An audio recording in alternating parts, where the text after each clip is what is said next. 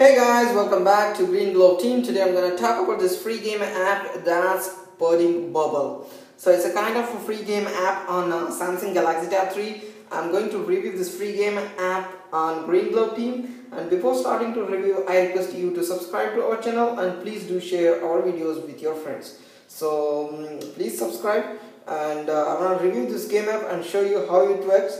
Let me start to review and show you. Okay guys? So let me start.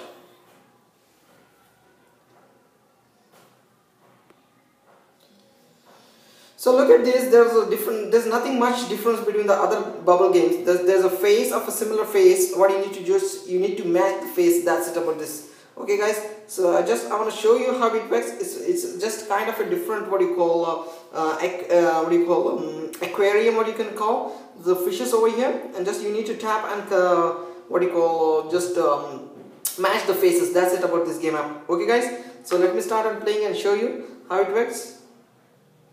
So look at this. Uh -huh. I'm just showing you. Rest is it's you. Just to manage this. Oh game over. That's it guys. Thank you so much for watching this game app on a Samsung Galaxy Tab 3 with Green Globe team. Thank you so much. Take care. And please do not forget to share our videos with your friends. We need your subscriptions badly